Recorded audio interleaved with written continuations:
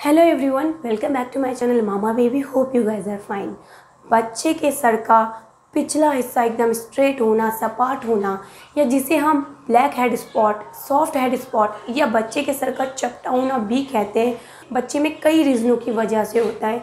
जैसे कि जन्म के बाद, शुरुआती कुछ हफ्तों में बच्चे सिर्फ़ एक ही पोजीशन पे सोते हैं, जिसके वजह से उस पर्टिकुलर एरिया में दबाव के कारण बच्चे के सर का वो हिस्सा एकदम स्ट्रेट या सपाट हो जाता है। इसके अलावा बहुत बार बच्चों की प्री मैच्योर डिलीवरी हुई होती है, बच्चों की डिलीवरी वैक्यूम से हुई होती है, जिसमें प्रेशर के कारण बच्चे के हेड का एक पर्टिकुलर हिस्सा स्ट्रेट या सपाट हो जाता है। और भी बहुत से रीज़न्स होते हैं, जैसे कि मदर के वॉम में दो या तीन बच्चे होते हैं, जिसके वजह से बच्चों को मूवमेंट के लिए प्रॉपर स्पेस नहीं मिल पाता। या फिर एमनियोटिक फ़ूड कम हो जाता है बच्चे के जन्म से कुछ समय पहले तो बच्चे को मूवमेंट के लिए स्पेस ना मिलने के कारण बच्चे का जो हेड है, वो एक जगह से, एक एरिया से एकदम स्ट्रेट हो जाता है। तो ये बात की हमने कि बच्चे में ब्लैक हेड स्पॉट क्या होता है, उसके रीजंस क्या हैं। बट बीइंग अ पेरेंट्स हम सब चाहते हैं कि हमारे बच्चे की हेड की शेप एकदम गोल हो। एंड इसके लिए हम बच्चे को मसाज देते समय अच्छे से प्रेस भी करते हैं बच्चे का हेड कि वो एकदम प्रॉपर गोल शेप में आ जाए। तो आज की वीडियो में मैं आपको कुछ ऐसे टिप्स बताऊँगी जो अप्लाई करके आप अपने बच्चे के हेड को एकदम गोल्ड शेप दे सकते हैं। वीडियो शुरू करने से पहले अगर आपको हमारी वीडियोस अच्छी जेन्युइन एंड हेल्पफुल लगती हैं तो प्लीज़ हमारी वीडियोस को लाइक ज़रूर करें। चैनल को सब्सक्राइब करना एंड बेल आइकन को प्रेस करना बिल्कुल ना भूलें। नीचे दिख रहे बटन्स पे क्लिक करके यह हमें इनक्रेज करता है ऐसी ही और इन्फॉर्मेटिव वीडियोस बनाने के लिए। तो चलिए मैं आपको बताती हूँ वो टिप्स जो आपकी हेल्प करेंगे बच्चे के हेड को अच्छी प्रॉपर गोल शेप देने में। तो सबसे पहला टिप है mustard pillow. I think 90 percent parents ने मस्टर्ड पिलो के बारे में सुना होगा अपने बड़ों से कि जैसे ही बच्चे का बर्थ हुआ है तो बच्चे के लिए मस्टर्ड पिलो यूज़ करना शुरू कर दो। ये बच्चे के लिए काफ़ी अच्छा रहता है। रीज़न बिहाइंड हम बच्चे को जब मस्टर्ड पिलो पे सुलाते हैं तो बच्चे का हेड जैसे जैसे पोजीशन लेता है, उसके अकॉर्डिंग मस्टर्ड सीड अपने आप को एडजस्ट करते हैं। उसके वजह से बच्चे के सर के एक पर्टिकुलर एरिया में दबाव नहीं पड़ता और बच्चे में फ्लैट हेड स्पॉट की प्रॉब्लम नहीं होती। बच्चे का सर एक प्रॉपर शेप में रहता है। मस्टर्ड पिलो या राई के दानों का पिलो बनाना बहुत सिंपल है। आपको राई को एक कॉटन के कपड़े में फिल करके उसे अच्छे से स्टिच करना है और वो पिलो आपको बच्चे के लिए यूज़ करना है। अगर आप चाहते हैं कि राई का पिलो कैसे बनाना है, इस पर मैं एक वीडियो करूँ। तो आप मुझे कमेंट सेक्शन में कमेंट करके बता सकते हैं। मैं इस पर भी एक सेपरेट वीडियो बना दूँगी। तो राई का पिलो काफ़ी यूज़फुल रहता है बच्चों के लिए। जैसे कि जब अंश का बर्थ हुआ तो मैंने 15 डेज़ बाद अंश के लिए राई का पिलो स्टिच किया था। मैंने वन के जी राय उसमें फिल की थी। आप चाहें तो वन एंड हाफ़ के जी राय भी फिल कर सकते हैं। ये काफ़ी यूज़फुल रहता है। आप बच्चे के लिए तीन साल, पाँच साल तक ये यूज़ कर सकते हैं। एंड ट्रस्ट में ये बच्चे के हेड को एकदम गोल शेप देने में काफ़ी हेल्पफुल रहता है। सेकेंड टिप है टमी टाइम बच्चे को टमी टाइम ज़रूर दें। टमी टाइम बच्चे के लिए काफ़ी बेनिफिशियल रहता है, क्योंकि बच्चा पूरे समय सिर्फ़ एक ही साइड सोता है अपनी बैक पे, जिसके वजह से बच्चे के पीछे के हिस्से में ब्लैक हेड स्पॉट प्रॉब्लम हो जाती है। अगर आप बच्चे को टमी टाइम देंगे तो ये बच्चे को काफ़ी रिलीफ दिलाएगा बच्चे के बैक से। बच्चा टमी पे लेटेगा और धीरे धीरे बच्चा टमी पे लेटने की वजह से इधर उधर पलटना सीखेगा और बच्चे के ब्लैक हेड स्पॉट की प्रॉब्लम भी सॉल्व होगी।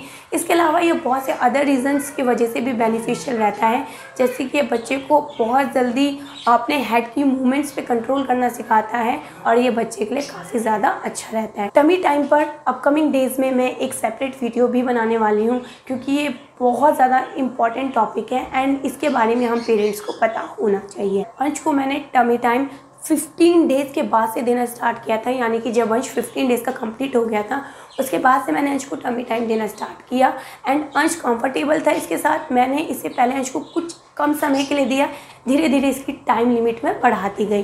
तो ये काफ़ी ज़्यादा अच्छा रहता है। कई पेरेंट्स डरते हैं बच्चों को टमी टाइम देने में बट टमी टाइम के बहुत ज़्यादा अच्छे अच्छे फ़ायदे हैं जिसके लिए टमी टाइम बच्चों को ज़रूर देना चाहिए।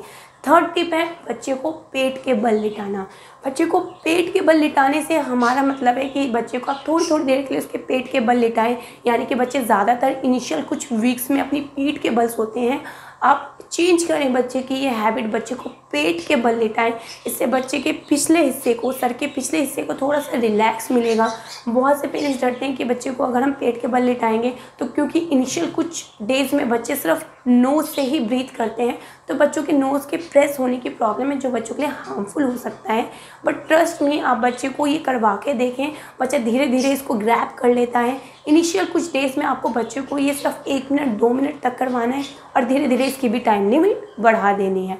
मेक श्योर sure जब आप बच्चे को पेट के बल लेटाएँ तो आप अपने बच्चे के पास अवेलेबल रहें, ताकि बच्चे को कोई प्रॉब्लम ना, बच्चे को पेट के बल लिटाने से बच्चे की बहुत सी हेल्थ रिलेटेड प्रॉब्लम सॉल्व होती है। जैसे इनिशियल कुछ मंथ्स में बच्चों में गैस की प्रॉब्लम होती है तो काफ़ी हद तक सॉल्व होती है। इसके अलावा बच्चा इधर उधर पलटना भी सीखता है, यानी कि अपने नेक पे कंट्रोल करना सीखता है तो काफ़ी अच्छा रहता है बच्चे को पेट के बल लिटाना। फोर्थ टिप है कि आपको बच्चे को होल्ड करना है अपराइट पोजीशन में। इससे बच्चे को कुछ समय के लिए रिलीफ मिलता है, एक ही पोजीशन में लेटने से।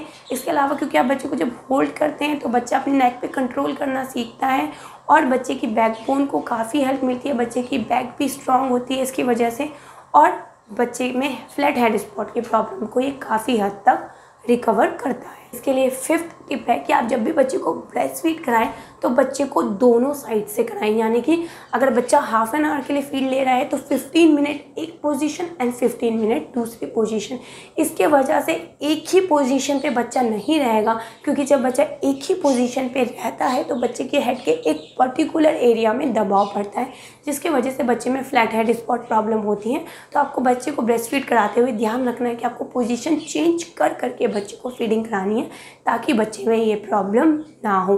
अगर आप बच्चे को फार्मूला फ़ीड करा रहे हैं तो भी आपको बच्चे की पोजीशन ज़रूर चेंज करनी है। इसका सिक्स टिप है मसाज मसाज भी काफ़ी हेल्प करती है बच्चे के हेड को एक गोल शेप देने में।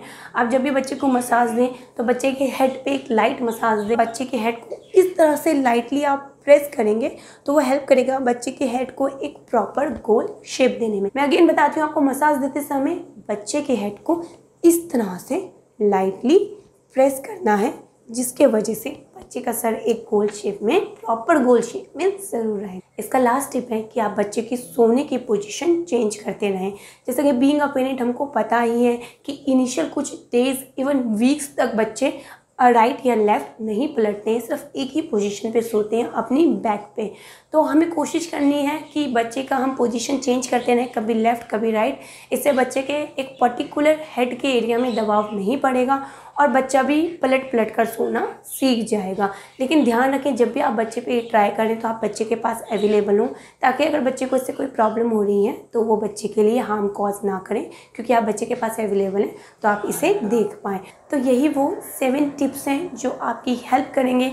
आपके बच्चे के हेड को एक प्रॉपर गोल शेप देने में, क्योंकि हम सबको टेंशन रहती है कि बच्चे का हेड एकदम गोल क्यों नहीं है, बच्चे का हेड गोल होना चाहिए, बच्चे का हेड पीछे से एकदम सपाट, एकदम चपटा क्यों है? तो ये अगर टिप आप अप्लाई करेंगे तो आपके बच्चे का हेड विद टाइम एकदम गोल पोजीशन में आ जाएगा। इसके अलावा एक जनरल बात मैं आपको बता दूँ कि क्योंकि पेरेंट्स बहुत ज़्यादा टेंशन में रहते हैं इनिशियल कुछ मंथ्स में कि बच्चे का हेड एकदम गोल नहीं है या बर्थ के समय से ही बच्चे का हेड गोल नहीं है, जबकि बच्चे की नॉर्मल डिलीवरी हुई है और कोई प्रॉब्लम भी नहीं थी डिलीवरी में। तो ये होता है, बहुत नॉर्मल है एंड विद टाइम ये अपने आप गोल भी हो जाता है, अगर आप ये सब चीज़ें ध्यान में रखें तो क्योंकि सिक्स मंथ तक आते आते बच्चा बैठने लगता है, बच्चा एक ही पोजीशन पे नहीं सोता है इवन थ्री फोर मंथ से बच्चा पोजीशन भी चेंज करने लगता है सोने की तो तब तक ये प्रॉब्लम काफ़ी हद तक सॉल्व हो जाती है। आप नोट करेंगे कि सिक्स मंथ तक आते आते बच्चे में जो फ्लैट हेड स्पॉट प्रॉब्लम है, वो अपने आप सॉल्व होने लगती है। कई बच्चों में ये वन ईयर तक भी सॉल्व होती है। तो ये बहुत ही नॉर्मल है, इसके लिए टेंशन लेने की कोई ज़रूरत नहीं है। आप बस ये सब टिप्स अप्लाई कीजिए एंड आपके बच्चे का हेड एकदम गोल शेप में ज़रूर आएगा। नेक्स्ट चीज़ है बच्चे के फ्लैट हेड स्पॉट से रिलेट कि बच्चे के सर का ऊपर का जिसे हम तालकू भी कहते हैं या फिर मिड ऑफ़ हेड कहते हैं, ये काफ़ी सॉफ्ट होता है स्टार्टिंग में बच्चों का। तो इसे लेकर भी पेरेंट्स काफ़ी टेंशन में रहते हैं कि बच्चे के सर का ऊपरी हिस्सा काफ़ी सॉफ्ट है, काफ़ी नाजुक है, चोट लगने की वजह से उस पर काफ़ी इम्पैक्ट हो सकता है। तो ये जनरली बच्चे का सिक्स से लेके वन ईयर तक चलता है, यानी कि सिक्स मंथ से लेके वन ईयर तक बच्चे का ये मिड ऑफ़ हेड सॉफ्ट रहता है। और इसे हार्ड बनाने के लिए आपको क्या क्या टिप करने हैं? नंबर वन आपको यहाँ पे हमेशा ऑयल भरना है ताकि ये विद टाइम थोड़ा सा हार्ड हो जाए। सेकेंड टिप आपको करना है कि आपको बिल्कुल भी उसे बार बार टच नहीं करना है। कई बार बच्चों के हेड के एरिया में कुछ गंदगी सी जम जाती है तो पेरेंट्स उसे खींच खींच के निकालते हैं। और आप नोट करेंगे, जब आप उसे खींच के निकालेंगे तो उससे बच्चे के हेयर्स भी साथ में आएँगे।